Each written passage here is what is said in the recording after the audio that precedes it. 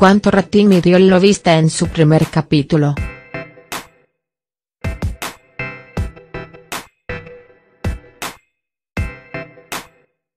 Anoche, el 13 puso en pantalla el unitario El Lobista que protagonizan Rodrigo de la Serna, Darío Grandinetti y Julieta Nair Calvo.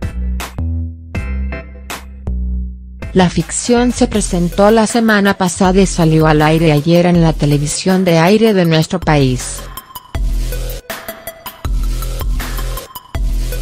Una vez finalizada en el canal de aire local, TNT puso en pantalla el capítulo inicial. En materia de audiencia hay que decir que el programa tuvo un promedio general de 130.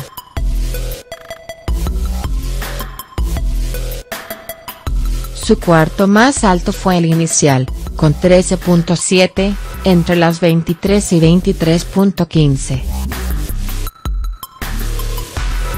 El rating fue bueno para una ficción nacional y obtuvo el número más alto de la emisora pero no logró superar a su rival directo de Telefe, Todo por mi hija, que promedió 13.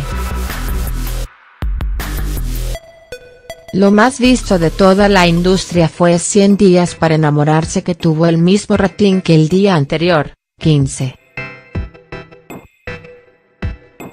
En América lo más visto fue Intrusos con 4.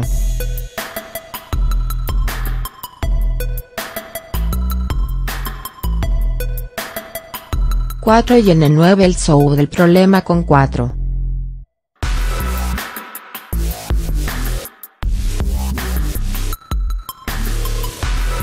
En lo que va del mes de mayo, siendo hoy la última jornada de competencia, Telefe logró 9. 3, el 13 7. 9, América 3.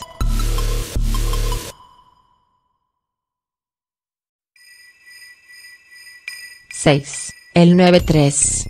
1 y Televisión Pública 0.